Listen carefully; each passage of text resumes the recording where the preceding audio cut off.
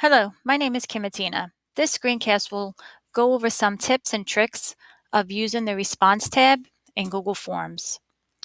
So first you need to create a Google form in your Google Drive. And once you do that, you'll come to this screen here.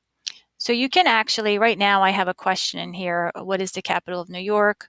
Um, you can add another question if you would like. Um, let's just say what is the capital of New Jersey.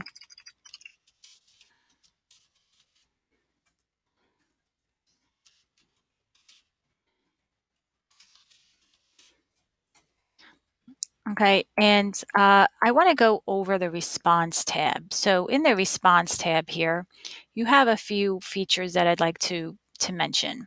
First, Anytime you create a Google form, I always recommend that you create a response sheet that goes with that form. So in order to do that, you just click on this green icon here. And this is going to create a, a new Google Sheet that is linked to the Google form. And it takes the name of the form and it just adds the word responses to it. So I do want to create a new Google Sheet named Demo Responses. I also have the option to select the response sheet in an already existing spreadsheet. So what I recommend is that I always create a new sheet for each form that I create. So I'm going to leave the default as create a new sheet. I hit the create button. It automatically opens up a new tab. It shows me all of the responses in the response sheet that is coordinated with the Google form. Okay, so that's one thing that I wanted to show you. And you can see here that each question is going to be a header.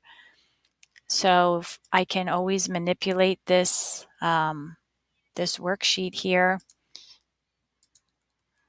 I can highlight it, I can bold, I can text wrap it. All right, and each question is going to be the header, and then you'll see all of your responses on, in rows underneath.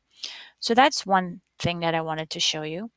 Another thing that I wanted to show you is sometimes you need to unlink the spreadsheet to the form because there could be a discrepancy or maybe you just don't want that spreadsheet linked to the form anymore.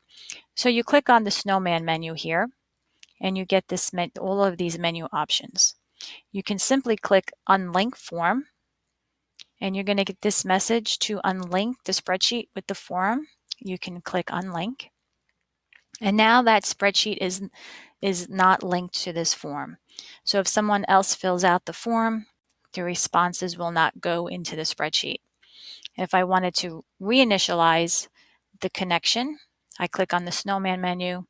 I collect, I select, I select the option that says select response destination.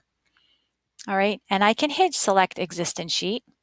I hit select, and it's going to allow me to browse my spreadsheets. So at this point here, I can find my spreadsheet because it was already created, hit select, and now that spreadsheet is linked to my form. So that's uh, one another tip.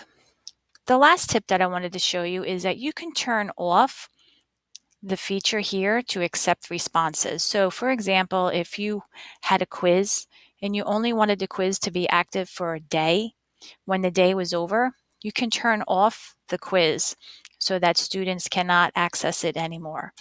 So you could you would just come over here, click on that that slider button, and the quiz is automatically turned off. The form is not active and no one can access that form anymore.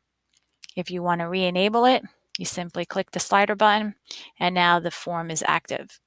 So you can use this handy little feature when you want your quiz locked down um, for, for students.